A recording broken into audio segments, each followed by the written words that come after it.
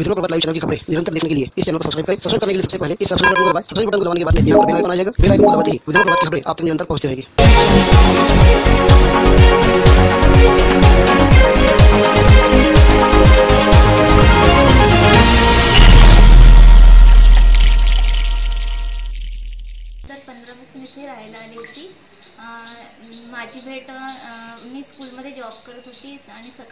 School राहत होतं. तिथून येणं जाणं नरेंद्र रतन तांबेचं येणं जाणं राहत होतं. तुम्हाला रोज म्हणजे बघायचा. आणि नंतर काही दिवसानंतर त्यांनी म्हणजे म्हणजे माझ्या मागे आला आणि मला नंबर दिला. तर मला बोलायचं आहे म्हणे. मी कॉल केला त्याला पण नंतर बोलला की बोलायचं आहे म्हणे. बाकी काही नव्हतं म्हटलं त्यांनी. आणि त्याच्याबद्दल मला इतकं काही माहिती नव्हतं. आणि मला म्हणे चल आपण फिरून येऊ म्हणे. फिरून आल्यानंतर मला सेमाडोच्या तिकडे जंगलात तिकडे नेलं आणि त्यांनी माझ्यासोबत जबरदस्ती केली. आणि नंतर मी दुसऱ्या दिवसापासून म्हणजे बोलणं बंद करायला सुरू बंद केलं. तर त्यांनी माझ्याकडे येऊन मला असं म्हटलं की तुझं माझ्याकडे सगळं काही रेकॉर्ड आहे तर तुला म्हणे यास लागेल म्हणे. आणि तीन मला मला रोज दहा वाजता शेतामध्ये जास लागत होता. कुठे आहे शेत सावळी सावळीला. तर मी रोज शेतामध्ये जात होती आणि त्यानंतर त्याने तीन वर्षापासून म्हणजे असंच चालू ठेवलं. माझ्या माझा मधला रूम पार्टनर होता त्या मुलाला म्हणत होतं तू की म्हणे गाव इथून सोडून जा म्हणे. आणि त्याला त्याला पण असं सांगितलं होतं की म्हणे मी हिच्यासोबत रोज हे करणार आहे असं वगैरे तू त्याला सांगत होता. पण तो मग लागेल गाव सोडून चालला गेला. त्याला पण त्यांनी दुकानात जाऊन मारलं होतं.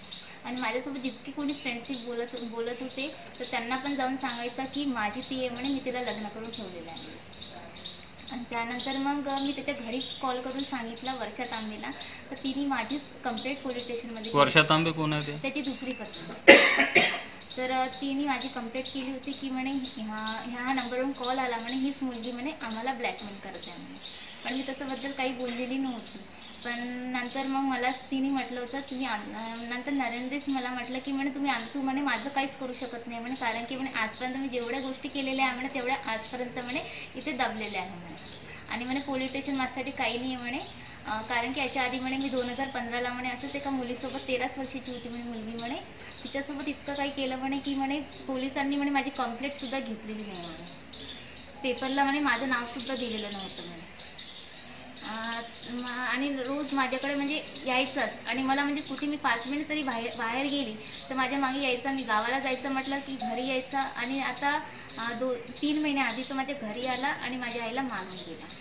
की मग नंतर मी यायचं नाही म्हटलं मी गाव सोडून जायचा प्रयत्न केला होता तर म्हणे तू इथे आली नाही. तर मला जून महिन्यामध्ये त्यांनी बोलवलं बा बालाजी लॉजवर तीन वेळा. आणि म्हणे तू आता आली नाही म्हणे तर म्हणे मी तुझ्यासोबत असं करणार की म्हणे तू म्हणे कुठे जाऊ शकशील नाही म्हणे.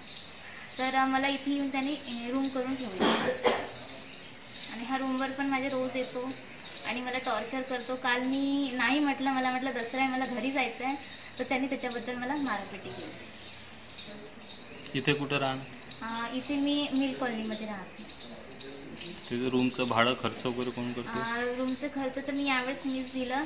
तो म्हणत होता मीच सगळं करणार म्हणत होता. पण मी त्याच्याकडून काही पैशाची अपेक्षा करत नाही कारण की त्यांनी याच्या आधीच माझ्या घरी येऊन सांगितलं होतं की तुमची मुलगी म्हणे माझ्याकडून पाच लाख रुपये घेऊन गेलेली आहे म्हणे. पण मी त्याच्याकडून एक रुपया पण आजपर्यंत घेतलेला नाही तर माझा खर्च माझी आईच करत असते. तुझी सुरुवात ओळख त्याच्यासोबत प्रत्यक्ष झाली असं कबूल केलं तू यावर?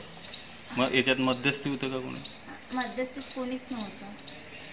तूच त्याला नंबर दिला स्वतः नाही नंबर तर स्वतःहून त्यांनी मला दिला दिलेला होता. पण मला असं काही माहिती नव्हतं की म्हणे अं, मला तुझ्यासोबत बोलायचं आहे म्हणे तेवढ्याचसाठी मी केला होता. पण माझ्या मला काही असं का- काहीच माहिती नाही तू मला नेऊन असं जबरदस्ती करणार हे मला माहिती नव्हतं. तुझे शारीरिक शोषण आतापर्यंत किती वेळा झालं? तीन वर्षामध्ये रोज झालेलं आहे.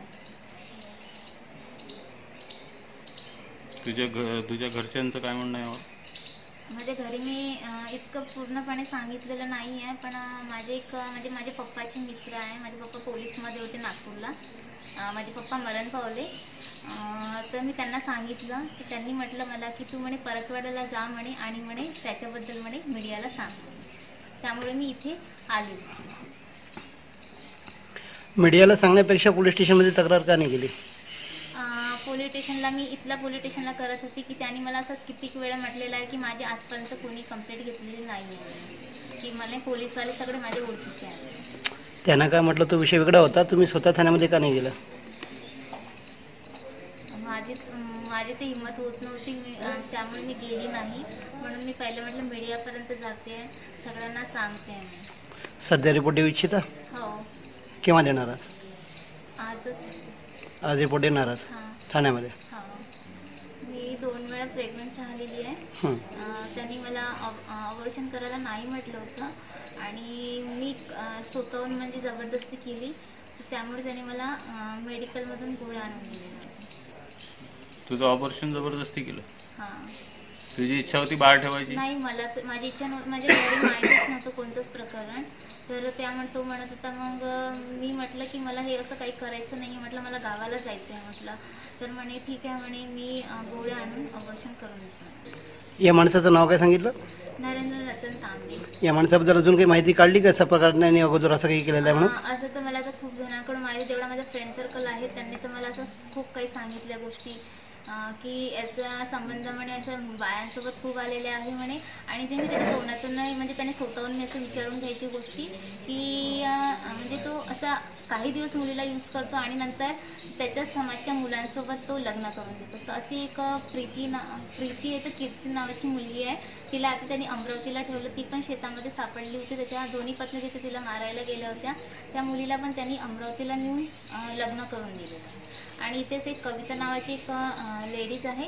ती तिच्यासोबत पण तिचे संबंध होते. त्यांनी पण तिच्या म्हणजे काही असं माणसं आणतात आणि तिच्या तुम्हाला फक्त एक सांगा की त्या माणसानं तुम्हाला कोणकोणत्या लॉजवर किंवा कोणकोणत्या हॉटेलवर कुठे कुठे केव्हा केव्हा नेलं होतं अं, बालाजीमध्ये त्यांनी मला जूनमध्ये जूनमध्ये नेलेलं होतं जून जुलै हां जूनमध्ये तर नेलंच होतं सतरा तारखेला. त्याच्यानंतर दोन तीन दिवस असं आठ दिवसाचं असं लेट होते त्यानंतर नेलं. म्हणजे तीन वेळा मी लॉजवर गेलेली आहे. बालाजी हॉटेल बालाजी लॉज कोणता? Station road? जयस्तंभ. हां ते हो आहे त्या लॉजवाल्याने तुमची आय डी वगैरे चेक नाही केली? माझी आय डी चेक केली होती. त्यांनी असं त्यांच्या ओळखीची होती. म्हणजे ते दिवसा की रात्रीला? रात्रीला.